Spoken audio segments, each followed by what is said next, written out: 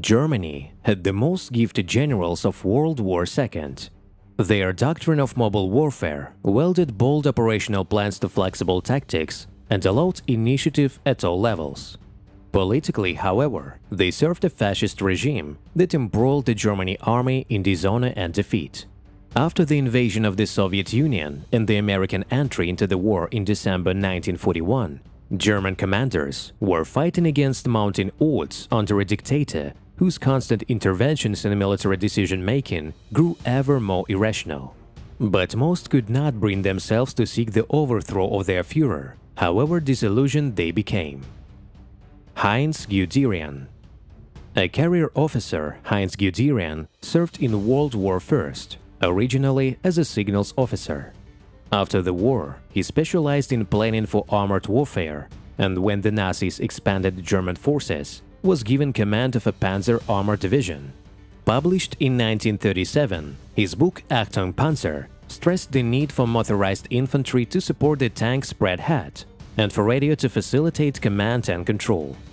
He put these theories into practice in the invasion of Poland in September 1939 and above all, in the invasion of France in May 1940. His Panzer Corps advanced through the Ardennes to cross the river Meuse at Sedan, punching a hole in the French defenses. Leading from the front, Guderian raced towards the Channel coast, refusing to stop, until ordered to by Hitler himself.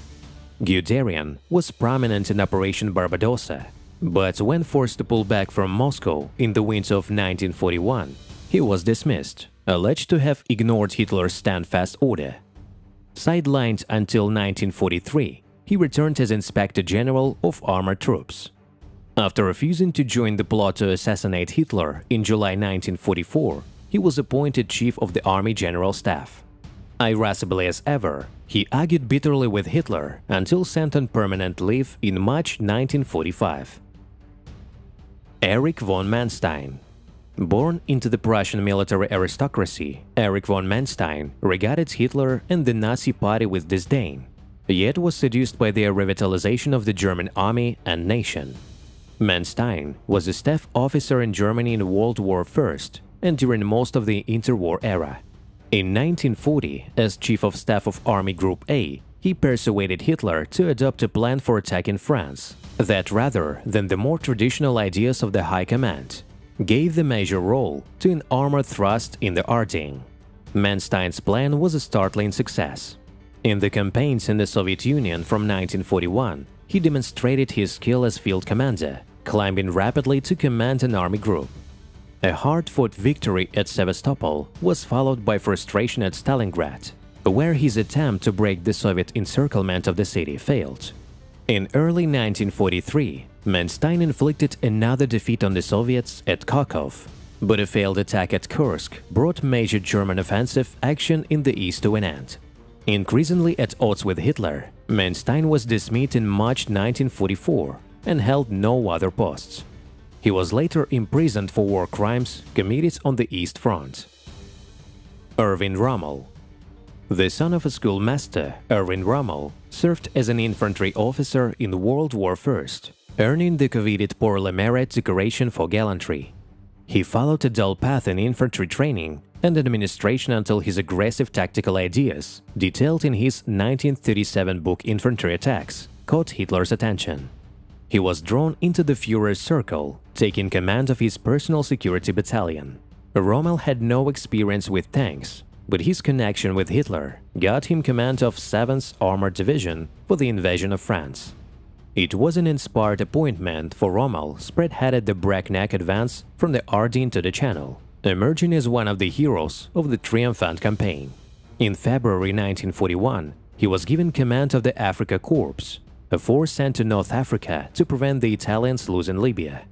He was soon given command of all Axis forces in the desert, Though starved of resources, Rommel outfought his British opponents, coordinating tank maneuvers that constantly wrong-footed his sluggish enemies.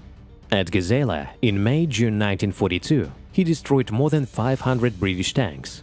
But Rommel's grasp of strategy did not equal his tactical gifts.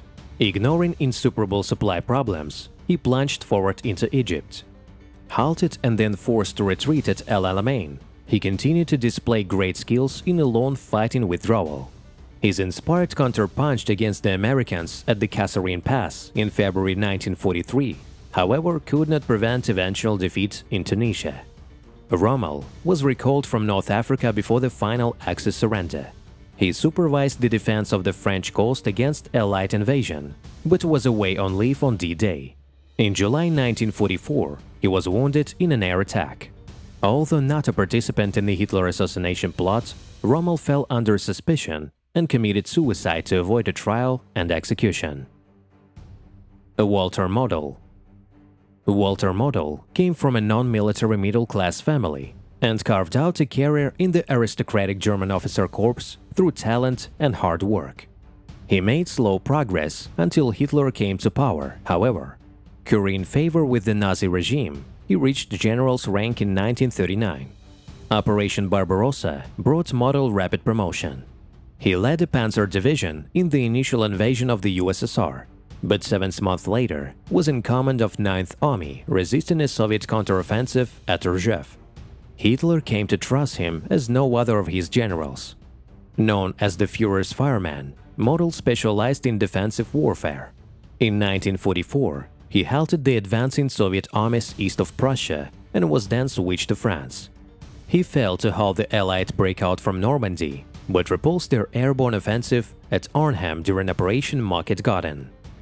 Against his better judgment, he executed Hitler's order for the attack that became the Battle of the Bulge, which proved a disaster for the German army. In 1945, his forces now encircled in the Ruhr, Model committed suicide.